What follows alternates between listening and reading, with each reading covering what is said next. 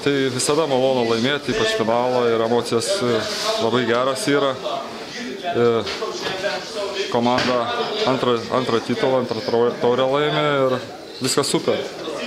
Nepasimetėt e, net ir sunkiausiais momentais šiandien, laikėsi komanda kaip kumštis, ar ne?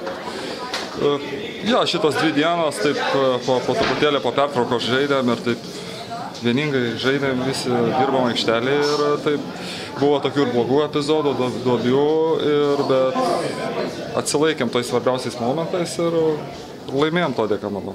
Šiandien daug kalbų yra apie tai, kad Šiauliuose nesusirinko daug žmonių, nors žaidžia Žalgiris Lietuvos rytas. Ką apie tai galvoja? Ar netrukus ir gali?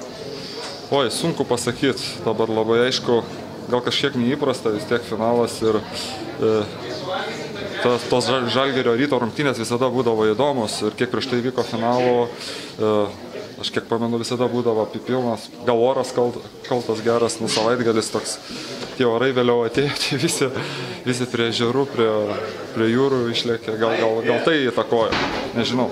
Dainiau, ar tai, kad Lietuvos rytas taupė lyderius, ką jie atvirai patys prisipažino, jums buvo pliusas ar dar buvo sunkiau? Nes Nu, žinot. Žinot, čia tas toks taupimas kartais nuima tą tokią atsakomybę. Aš manau, kad jiem patiems lengviau pasidaro žais, kad... At nežinau, čia, čia jų virtuvė yra, man sunku kalbėti, mes, mes žaidžiam, mes neturim varžybų, jie turi varžybų, jie iš savo pusės žiūri, mes, mes nieko negalim padaryti, finalai yra finalai ir žaidžiam, ir viskas. Trečią kartą iš eilės laimėjot prieš Žalgirį. Prieš Lietuvos rytą, atsiprašau. Ar galima sakyti, kad Žalgiris šiandien yra stipresnė komanda už Lietuvos rytą?